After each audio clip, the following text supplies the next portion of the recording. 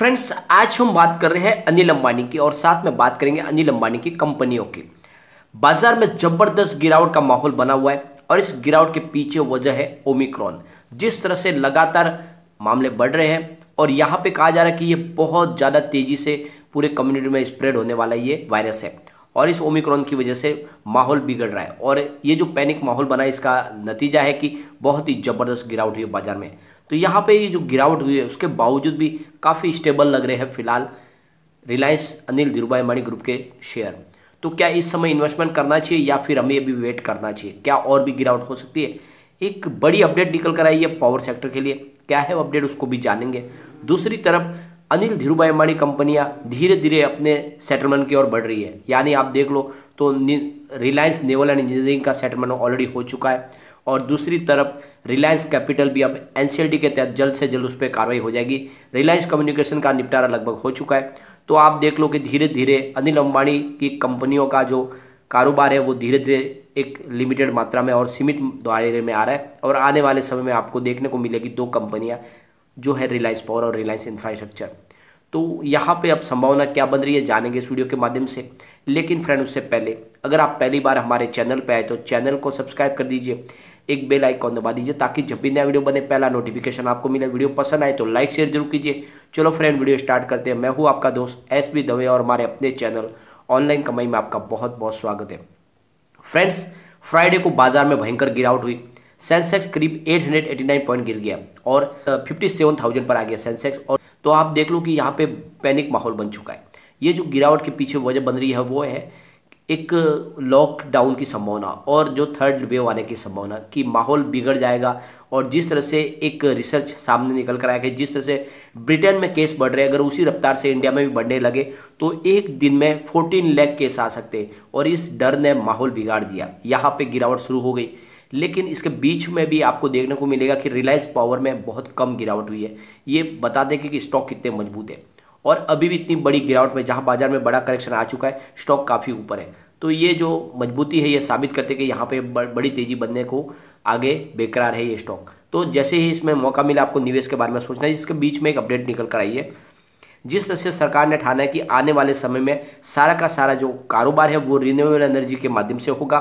और जो पुरानी कोल बेस जो परंपरागत ऊर्जा का स्रोत है, उसको कम किया जाएगा। लेकिन यहाँ पे जो अपडेट निकल के आ रही है, उसके हिसाब से जो कोल बेस्ड थर्मल प्लांट है, उनका रिप्लेस रिन्यूएबल एनर्जी को करना बहुत ज़्यादा मुश्किल होगा फ़िलहाल, क्योंकि जितनी ज़्यादा डिमांड है इलेक्ट्रिसिटी की, उतनी वो पूरी नहीं कर पाएँगे। जो ये सोर्स की एक लिमिट है, यानी जितने भी शायद सोलर प्लांट ले लो, या फिर आप विंड टर्बाइन या फिर हाइड्रो गैस के तो उनकी एक लिमिट होती है। लेकिन यहाँ पे कोल से प्रोडक्शन बहुत तेज़ी से और बहुत ज़्यादा हो सकता है। और यहाँ पे मौसम की किसी भी प्रकार की कोई प्रॉब्लम भी नहीं होती है। और इसका नतीजा है कि यह आने वाले समय में भी आपको काफ़ी समय तक कोल जनरेशन प्रोडक्ट इलेक्ट्रिसिटी के लिए सबसे बड़ा एक हथियार के तौर पे दिखाई देगा।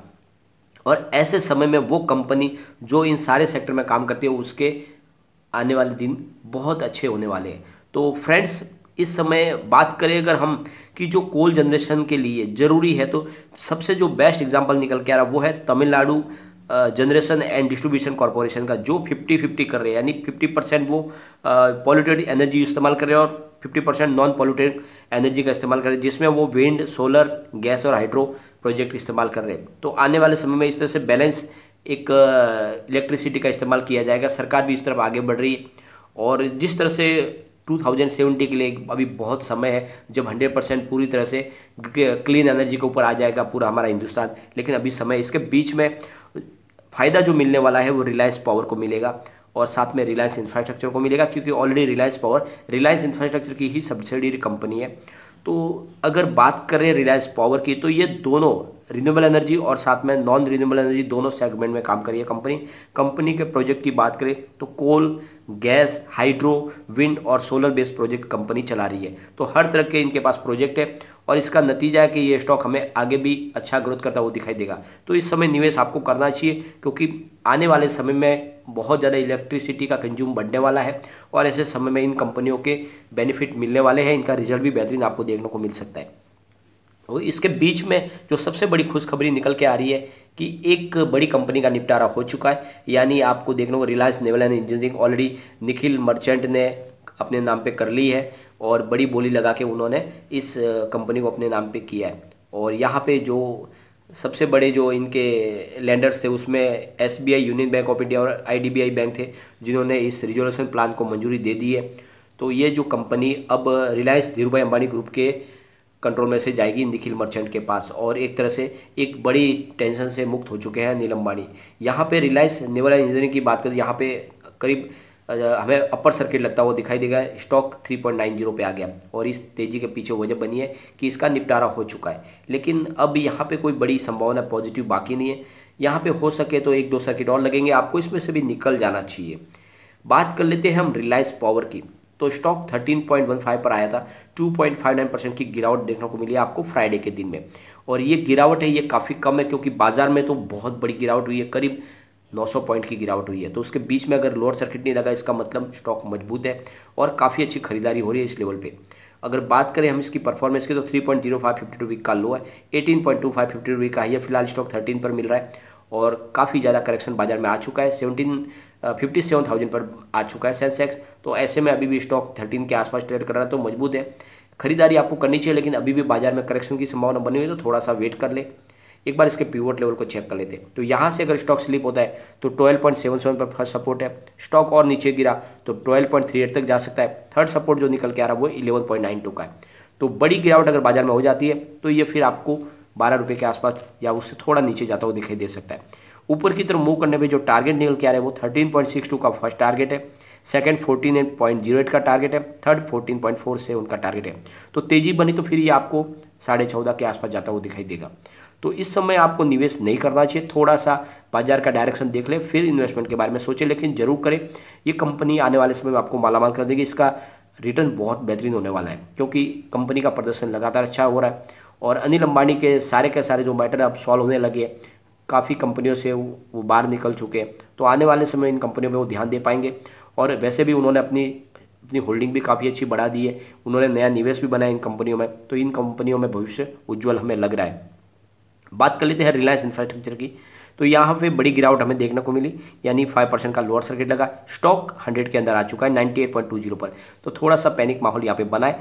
काफ़ी अच्छी तेज़ी बन चुकी थी। स्टॉक फिर हंड्रेड के नीचे आ चुका है। तो यहाँ से अब पैनिक सेलिंग शुरू हो सकती है। तो निचले लेवल से खरीदारी का मौका यहाँ पर भी आप ढूंढ सकते हैं। Twenty three point seven five fifty two week का लो है। One hundred fourteen fifty two week का ये फ़िलहाल स्टॉक नाइन्टी एट पे। तो ऊपर के लेवल से थोड़ा सा नीचे आ चुका है स्टॉक एक बार इसके पीवोट लेवल को चेक कर लेते हैं। तो यहाँ से अगर स्टॉक स्लिप होता है तो 96.43 पर फ़र्स्ट सपोर्ट मिलेगा। स्टॉक और नीचे की तरफ़ स्लिप हुआ तो 94.42 तक जा सकता है। थर्ड जो सपोर्ट निकल के आ रहा है, वो 90.63 का है। ऊपर की तरफ़ मूव करने पे जो टारगेट निकल के आ रहा है, वो 102 का फ़र्स्ट टारगेट है। स्टॉक थोड़ा और ऊपर गया तो 106 तक जा सकता है। और जो थर्ड टारगेट है वो 108 का है। तो ये आपको ध्यान रखना है। अगर माहौल तेज़ी का बन जाएगा तो फिर ये 110 के आसपास फिर जाता हुआ आपको दिखाई देगा। और अभी फ़िलहाल थोड़ा सा डाउनफॉल दिख रहा है तो थोड़ा सा वेट करें, फिर उसके बाद में निवेश के बारे में सोचें। कंपनी काफ़ी अच्छी है। दोनों कंपनी में निवेश बनाए रखें। यह आपको अच्छा आने वाले रिटर्न शानदार रिटर्न मिलने की संभावना बन जाएगी आने वाले समय में। अब हम बात कर लेंगे रिलायंस कम्युनिकेशन की। तो यहाँ पर भी हमें थोड़ी सी गिरावट देखने को मिली। 3.75 पर 2.60 परसेंट की गिरावट देखने को मिली है। और यहाँ पर भी बीच में थोड़ी सी तेज़ी अच्छी बनी थी, लेकिन स्टॉक फिर वापस अपनी पुरानी ढरे पे आ चुका है, काफ़ी नीचे आ चुका है। और मैंने आपको लगातार बोला कि आपको भी रिलायंस कम्युनिकेशन से निकल जाना चाहिए। और इसकी परफॉर्मेंस को अगर देखें तो one point five zero fifty रुपये का लो है, five point zero five fifty रुपये का हाई बनाया लेकिन उस हाई के बाद स्टॉक वहाँ तक नहीं जा पा रहा है, काफ़ी नीचे अभी भी पौने चार रुपये के आसपास है। एक बार इसके पीवोट लेवल को चेक कर लेते हैं तो यहाँ से अगर स्टॉक स्लिप होता है तो 3.60 पर फ़र्स्ट सपोर्ट है। स्टॉक और नीचे गया तो 3.45 तक जा सकता है। तीसरा जो सपोर्ट निकल के आ रहा है वो 3.30 का है। ऊपर की तरफ़ मूव करने पर जो टारगेट निकल के आ रहा है, वो थ्री का फ़र्स्ट टारगेट है। फोर का सेकेंड टारगेट है फोर का थर्ड टारगेट है। तो फ़िलहाल यहाँ पर आपको साढ़े चार से लेकर साढ़े तीन के बीच में स्टॉक ये ट्रेड करता हूँ आपको दिखाई दे सकता है। अब हम बात कर लेंगे रिलायंस कैपिटल की। तो यहाँ पर भी हमें थोड़ी सी गिरावट देखने को मिली। 13.15 पर 2.59 परसेंट की गिरावट देखने को मिली। बीच में अच्छी तेज़ी बनी थी, लेकिन फिर वापस गिरावट का दौर शुरू हुआ है, क्योंकि अब ये एनसीएलटी के तहत इसकी कार्रवाई होगी।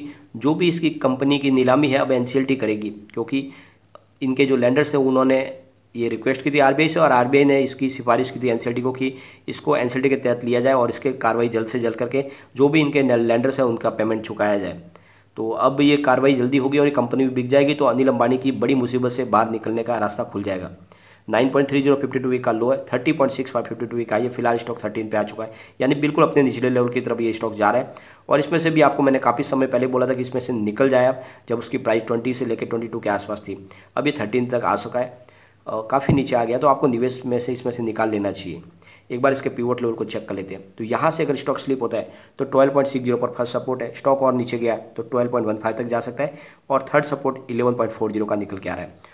ऊपर की तरफ़ अगर स्टॉक मूव करने लगा तो 13.80 का फ़र्स्ट टारगेट है सेकंड 14.55 का टारगेट और थर्ड फिफ्टीन का टारगेट है। तो तेज़ी बनी तो ये पंद्रह तक टच कर सकता है। अगर कुछ पॉजिटिव बातें निकल कर आएगी इसके आगे तो ये स्टॉक थोड़ा सा पॉजिटिव मूव करेगा। आप इसमें से जल्द निकलने की कोशिश कर लें। अब रिलायंस होम फाइनेंस की बात कर लेते हैं। ये भी इसकी सब्सिडियरी कंपनी है, जहाँ पे काफ़ी बड़ी गिरावट देखने को मिली है। करीब फाइव परसेंट का लोअर सर्किट लगा है फोर पॉइंट थ्री फाइव पर स्टॉक है। और काफ़ी समय से स्टॉक इसी जगह पर ट्रेड करता हुआ आपको दिखाई दे रहा होगा। तो ये सारी कंपनियों में से आपको निकल जाना चाहिए और आपका जो भी इन्वेस्टमेंट है उसको रिलायंस इंफ्रा और रिलायंस पावर में लगा दें। मैं पिछले एक साल से आपको बोल रहा हूँ। दोनों कंपनियाँ ही चली है। काफ़ी अच्छा रिटर्न दे चुके हैं। बाकी कंपनियाँ तो सब धीरे धीरे नीचे आ गई है। आने वाले समय इन कंपनियों का भविष्य उज्जवल होगा क्योंकि अनिल अंबानी के पास दो ही कंपनियाँ बचेगी और इनको वो अच्छे से आगे ले जा पाएँगे। तो निवेश बनाए रखें। लेकिन फ्रेंड कोई भी इन्वेस्टमेंट करने से पहले अपने फाइनेंस एडवाइजर से एडवाइस ले ले या अपना खुद का रिसर्च करें। क्योंकि मैंने वीडियो आपके एजुकेशनल पर्पज के लिए ही बनाया वीडियो पसंद आए तो लाइक शेयर ज़रूर कीजिए और चैनल को सब्सक्राइब कर दीजिए। Thank you friend